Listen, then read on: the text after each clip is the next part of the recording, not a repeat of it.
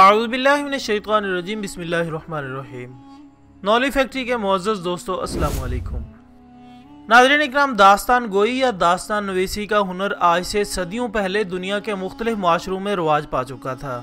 جن میں سے خاص طور پر مشرق وسطی، قدیم ایران، مصر اور دیگر عرب دنیا سے تعلق رکھنے والی کئی کہانیوں کو وہ شہرت دوام حاصل ہوئی کہ وہ صدیاں گزرنے کے باوجود آج کے انسان کے لیے بھی پسندیدہ اور پرکشش ہیں۔ جن میں سے علی بابا چالیس چور کے علاوہ علادین کا چراغ اور دیگر کئی کہانیاں شامل ہیں۔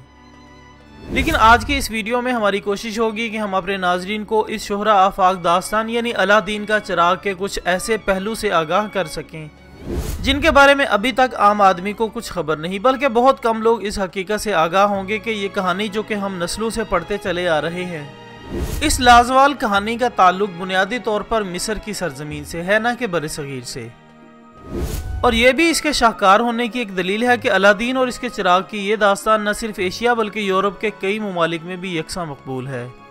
نولی فیکٹری کے ناظرین کی اکثریت ایک شہرہ افاق کتاب ہزار داستان کے نام سے ضرور واقف ہوگی جس میں دنیا کی لازوال داستانوں کو سمیٹنے کی کوشش کی گئی ہے۔ جبکہ کہا جاتا ہے کہ علادین کی اس داستان کو بھی سترویں صدی عیسوی میں ایک فرانسیسی مصنف نے اس کتاب کا حصہ بنایا تھا۔ جس کے مطابق اس کے ایک دوست جس کا کاروباری تقاضوں کے مطابق اکثر مصر اور عرب دنیا کا چکر لگتا رہتا تھا۔ اس نے اس لازوال داستان کے بارے میں بتایا جو کہ اس نے مصر کے ایک شخص حنادیاب سے سنی تھی۔ بلکہ بعض تجزیہ نگاروں کے مطابق خود اس کی اپنی ذات کا تعلق بھی اسی کہانی سے بنتا تھا۔ لیکن اس کو علادین نامی ایک فرضی کردار سے منسوب کیا گیا جو کہ اتفاق سے ایک ایسے چراغ کا مالک بن جاتا ہے۔ جس کو رگڑنے سے ایک جن حاضر ہو کر اس سے پوچھتا ہے، کیا حکم ہے میرے آقا؟ اور پھر اس چراغ کا مالک یعنی علادین اسے جو بھی حکم دیتا ہے، وہ پل بھر میں پورا کر دیتا ہے۔ جس کی بدولت گلیوں میں آوارہ پھرنے والا وہ لڑکا ایک امیر کبیر شخص بن جاتا ہے۔ ناظرین، اس کا خلاصہ کچھ یوں ہے کہ علادین جو کہ ایک یتیم لڑکا تھا، ایک دن حسب معمول جب گلی کے لڑکوں کے ساتھ کھیل رہا تھا کہ اس کے پاس ایک اجنبی شخص آیا اور اس سے کہا کہ میں تمہارا چچا ہوں اور بہت عرصے بعد اپنے وطن واپس لوٹا ہوں۔ سادہ لو علادین یہ بات سن کر اس جادوگر کی اصلیت کو نہ پہچان سکا اور خوشی خوشی اس کو اپنے گھر لے گیا۔ جہاں پہنچ کر اس نے اپنی ماں کو بتایا کہ یہ اس کے چچا ہیں اور یوں وہ خوشی خوشی ایک ساتھ رہنے لگے۔ جبکہ اس دوران اس جادوگر شخص نے ان دونوں ماں بیٹے کا دل جیتنے کے لیے اللہ دین کو طرح طرح کے کھلونے اور تحفے بھی دیے۔ اور پھر ایک دن اس کا نام نہاد چچا اسے سیر کے بہانے ایک غار کے دھانے پر لے گیا۔ اور اسے اپنی ایک انگوٹھی دیتے ہوئے کہا کہ جاؤ، اس غار میں ایک پرانا سا چراغ پڑا ہے، اسے لے آؤ، میں یہاں تمہارا انتظار کر رہا ہوں۔ علادین اس کی ہدایت کے مطابق جب غار میں اترا تو اس نے وہاں ایک پرانے چراغ کو دیکھا۔ اور جب اس کو اٹھاتے ہوئے ایک دیوار سے ٹکرایا تو اچانک ہی اس چراغ میں سے ایک خوفناک جن حاضر ہو گیا، جس کو دیکھ کر علادین پر کپ کپی تاری ہو گئی۔ اسی خوف کے عالم میں جب اس کا وہ انگوٹھی والا ہاتھ غار میں پڑے ہوئے ایک پتھر سے ٹکرایا تو فوراً ہی ایک بڑا جن حاضر ہو گیا جس کو دیکھ کر چراغ والا جن فوراً غائب ہو گیا۔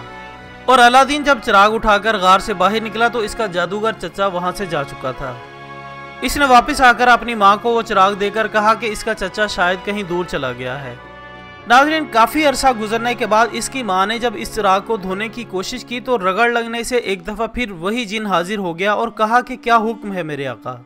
جن کو دیکھ کر ایک دفعہ تو دونوں ماں بیٹا گھبرا گئے، لیکن جلد ہی اس کی ماں نے اسے کہا کہ ہمارے لیے ایک محل تعمیر کر دو، جو کہ اس نے فوراً کر دیا۔ اور پھر جب بھی کسی چیز کی ضرورت ہوتی، وہ چراغ کو رگڑتے ہوئے جن کو بلا کر جو حکم دیتے، وہ فوراً پورا کر دیتا۔ سو یہ لڑکا اس چراغ کی مدد سے اب ایک امیر ترین آدمی بن چکا تھا اور اس نے ایک بڑے رئیس کی بیٹی سے شادی بھی کر لی تھی۔ ادھر اس کا وہ نام نہاد چچا، اب یہ چراغ حاصل کرنے کے لیے بے تاب تھا۔ سو اس نے ایک چال چلتے ہوئے ایک دن محل کے قریب آ کر یہ آواز لگائی۔ کہ پرانے چراغ کے بدلے نیا چراغ لے لو۔ یہ سن کر اس کی بیوی جو کہ علادین کے چراغ کی اصلیت سے واقف نہ تھی، اس نے اسے ایک فالتو چیز سمجھتے ہوئے اس جادوگر کے ہاتھ دے کر نیا چراغ لے لیا۔ اور پھر ایک طویل جدوجہد کے بعد وہ انگوٹھی جو کہ اس کے چچا نے دی تھی، اس کی مدد سے اپنا چراغ دوبارہ جادوگر سے حاصل کر لیا۔ ناظرین، یہ ہے اس کہانی کا خلاصہ جو کہ گزشتہ کئی صدیوں سے پوری دنیا میں اپنا جادو جگا رہی ہے۔ آپ کو ہماری آج کی ویڈیو کیسی لگی؟ کومنٹس کی صورت میں ضرور بتائیے گا۔ ویڈیو پسند آنے کی صورت میں لائک کریں فیس بک اور واٹس ایپ پر اپنے دوسرے دوستوں کے ساتھ بھی ضرور شیئر کیجیے گا۔ ہماری اگلی ویڈیو آنے تک اجازت دیجیے گا۔ اپنا دوستوں رشتہ داروں اور گردنواہ کے تمام لوگوں کا بہت خیال رکھیے گا۔ اللہ حافظ۔